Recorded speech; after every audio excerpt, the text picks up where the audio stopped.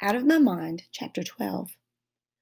By the end of October, the inclusion program had been expanded. Marie and Jill have been added to art and gym classes, and Freddie and Willie go to science. Me, it's the first time I've ever gotten to change classes for different subjects in my life. Now, when the bell rings, instead of wondering what's happening out there in the halls, I'm out there too. And it's awesome. I plow through the crowds in my electric chair like a power mower in thick grass. Sometimes kids wave and say, What's up? Every once in a while, someone will even walk with me to the next class. Cool. But inclusion doesn't mean I'm included in everything. I usually sit in the back of the room going crazy because I know answers to things and I can't tell anybody. What's the definition of the word dignity? One of my teachers asked a few days ago. Of course, I knew, so I raised my hand, but the teacher didn't notice the small movement that I'm able to make. And even if she were to call me, what then? I can't very well yell out the answers. It's really frustrating. During parent conferences earlier this month, my parents came to meet Mrs. Shannon and the other teachers. Instead of leaving me on my own in the corner somewhere, Mrs. Shannon pulled me into the circle of teachers who were involved in the inclusion program. She's so great. She patted the arm of my chair and smiled. This child's got some serious smarts. She's going to be our star in this program. I did my usual screeching and kicking. I think I would have kissed her if I could, but that would have been pretty sloppy, I guess. Well, it's about time somebody recognizes what we've always known, my dad told Mrs. Shannon. We really appreciate the opportunity to let her show what she can do. Mom was especially pleased to find out I'd been assigned a mobility assistant, an aide of my own. Finally, Mom said, relief in her voice. We've been asking for this for years. Budget busting paperwork, a system that runs on grits instead of good sense. I'm so sorry, Mrs. Shannon replied, shaking her head. I'm trying to get all the students in H5 the services they need. But I smacked an aid for Mel- smacked an aid for Melody way up to the top of my list, so we'll see how it goes. I'm expecting a wonderful school year. So cool, I tapped on my board. An aide? Wow. This person's job would be to take me to classes, sit with me, and help me participate. I wondered what she'd look like, or maybe I'd get a guy. Would he be young and cute or old and grumpy? The very next, next day, my new aide was at school before I was, chatting with Mrs. Shannon in room H5 as we kids were wheeled in. She came right over to me and took my hand. Hi, Melody. I'm glad to meet you. My name's Char- Catherine. I go to the university, and I'm going to be your deals and wheels every day. She talked to me like I was just like any other student, not a kid in a wheelchair tried not to kick, but it was hard to hold in my excitement. Cute t shirt, she said as she checked out Tweety Bird on the front of my new lavender top Mom had bought for me. I pointed to thanks on my board. What's your favorite color? she asked then. I pointed to purple, but then quickly slid my thumb over to green. I grinned at her. You're quick, Melody. I can see we both like weird colors. We're going to get along just fine.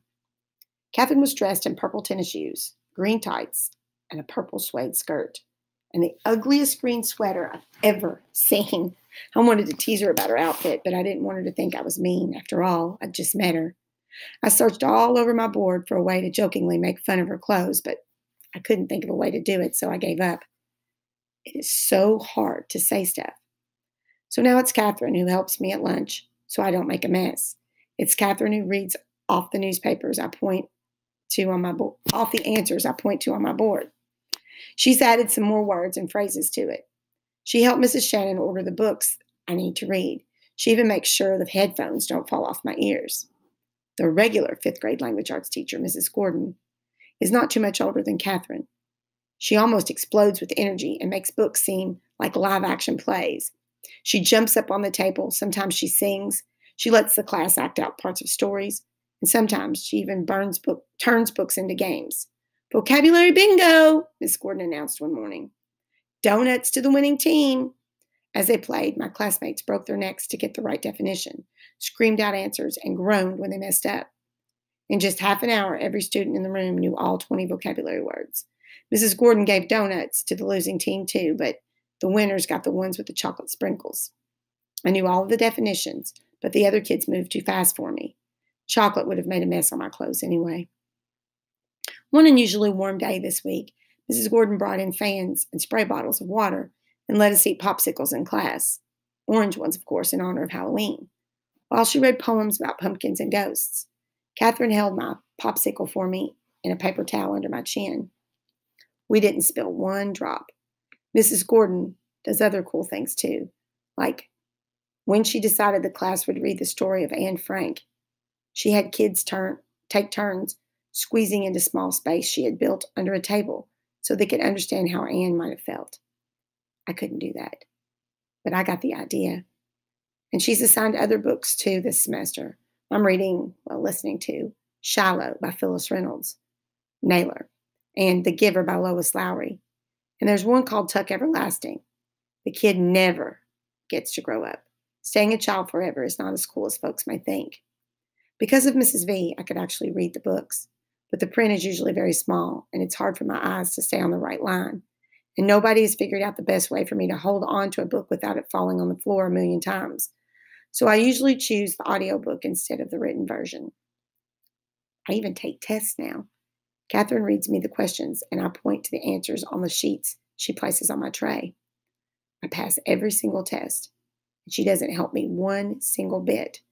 I would probably get 100% on each one, but some of the questions require long answers. I just can't explain with the words on my board. One time in spelling, Mrs. Gordon read the word aloud, words aloud, and I pointed to the letters on my board. Catherine wrote down what I pointed to so I could follow along with the test. Claire and Molly, who were always watching me, it feels like, began to complain. It's not fair, Claire cried, waving her hand to get Mrs. Gordon's attention. Catherine cheats for her, Molly added. What is it with those two? It's like they're jealous of me or something. And that's just plain crazy. At the same time, I realized that they actually thought I had it easier. that sure was a first. Last Monday morning, Mrs. Gordon told the class, as some of you may know, because I do this every year, our long range fifth grade project this year is our biography unit. We will read the biographies of famous people, do a report on fa- a famous person of your choosing, and each of you will also write your own autobiography. Well, it's got to be short. But what can you do in 11 years, Connor? The big kid shouted. Even everybody laughed. In your case, Connor, Mrs. Gordon replied, I'm sure you'll think of a way of way too much. Can I do my report on the guy who invented hamburgers? Connor asked, to more laughter. I doubt if we know who made the first hamburger, but you can do your report on the person who founded McDonald's. He got rich off hamburgers and fries. Awesome, my kind of dude, Connor said. Rose raised her hand. I love the fact that she's in all my inclusion classes. Mrs. Gordon, when is all this due? Rose is the type of student who takes all kinds of notes in a bright red spiral planner and never misses a homework assignment. Relax, Rose. We've got until the end of May, and I'll walk you through each segment one step at a time. Tomorrow, we'll talk about how to write your memories. Rose seemed satisfied, but I noticed she scribbled almost a whole page in her notebook. I'd give anything to do that. But working on stuff that teachers in regular classes assign is just plain awesome. History class is even better than language arts class, even though the teacher, a man named Miss, Mr. Deming, has none of Mrs. Gordon's spark. Balding and pudgy, he's been teaching at the school for over 20 years, and his kids say he's never been absent. Not even once. Clearly, he loves what he does. His car is always in the parking lot when our buses roll in, and always there when we leave for the, for the day. He dresses like a TV preacher in a three piece suits with vests most days. I've never seen him without a crisp white shirt and a colorful tie. I wonder if his wife picks them out. Some of them are really sharp. Mr. D loves history. He can quote facts and dates and wars and generals like somebody on a game show. I bet he could win Jeopardy. The other students don't seem to like Mr. Deming much. They call him Dimwit, Deming, behind his back. I think that's sort of mean because Mr. D is really smart, smart enough to run the quiz team. When Mr. Deming got to American presidents in class, I rocked. He gave me the, he gave the students a list of presidents and all their vice presidents and told us there would be a test in a week. Catherine read the names to me several times. I've never even heard of some of these men, she admitted to me as we went over the list the first time. Hannibal Hamlin was Abraham Lincoln's first vice president. Who knew?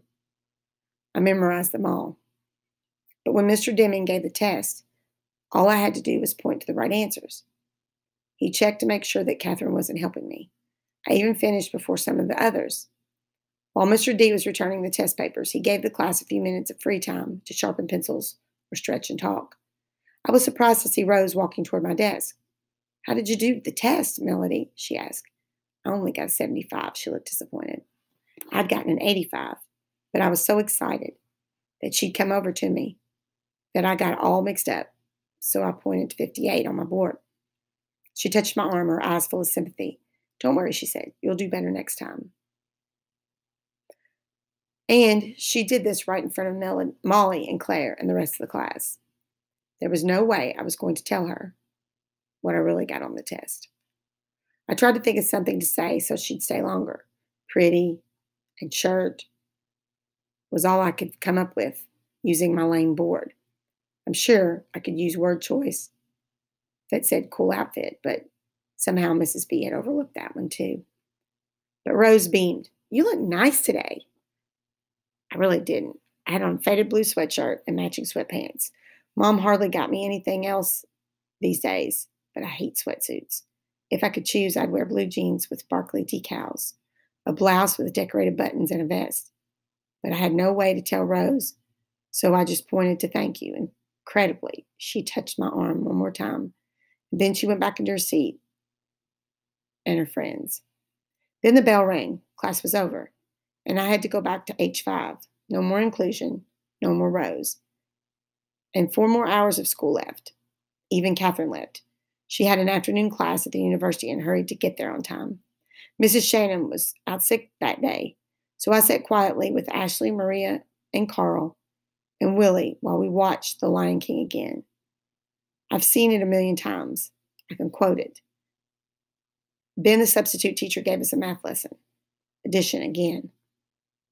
When am I ever going to get to long division? I wondered what Rose was doing. It was a very long afternoon.